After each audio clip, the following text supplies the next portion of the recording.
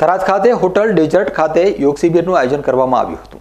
ગુજરાત રાજ્ય યોગ બોર્ડ દ્વારા યોજાયેલી આ યોગ શિબિરમાં બનાસકાંઠા જિલ્લાના સાંસદ પરબતભાઈ પટેલ, પાલિકા પ્રમુખ દીપકભાઈ ઓઝા, ભારત વિકાસ પરિષદના પ્રમુખ નરસિંહભાઈ ચૌધરી સહિત અન્ય આગેવાનો યોગ શિબિરમાં હાજર રહ્યા હતા. આ યોગ શિબિરમાં યોગ ટ્રેનર તરીકે ડોક્ટર રીતેશ પ્રજાપતિ અને દશરથભાઈ સોની દ્વારા તાલીમ આપવામાં આવી રહી છે.